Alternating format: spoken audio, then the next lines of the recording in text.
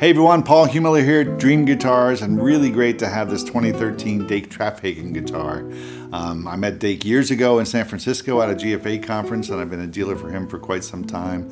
He's a well-known American maker who really builds guitars with great power and clarity and beauty, and he builds primarily nylon, but he also does steel strings, and we have some of those, and I love those as well because he takes the sensibilities of a nylon maker over to steel string, and they have a very cool sound and a different sort of energy and attack.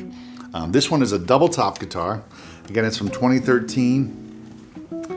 We've got a so double top with cedar here big, strong bass on this one. This is a great guitar for someone who wants a nylon string with a bit more bass than usual and in a really good way. And all the strings are strong and powerful as a double top would be, but the bass is particularly lovely um, and bold. Ebony fingerboard, of course. Beautiful Brazilian rosewood on the headstock. Really nice Gotoh tuners in sort of a black and gold look.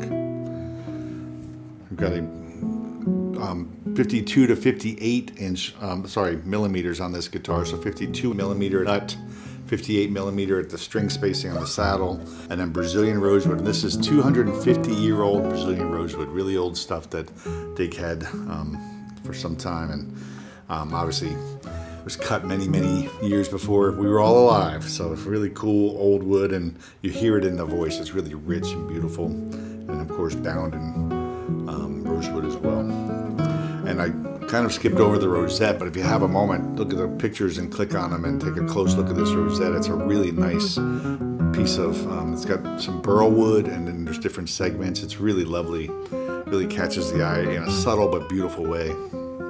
Really great double top from my buddy Dake Traphagen. Thank you all.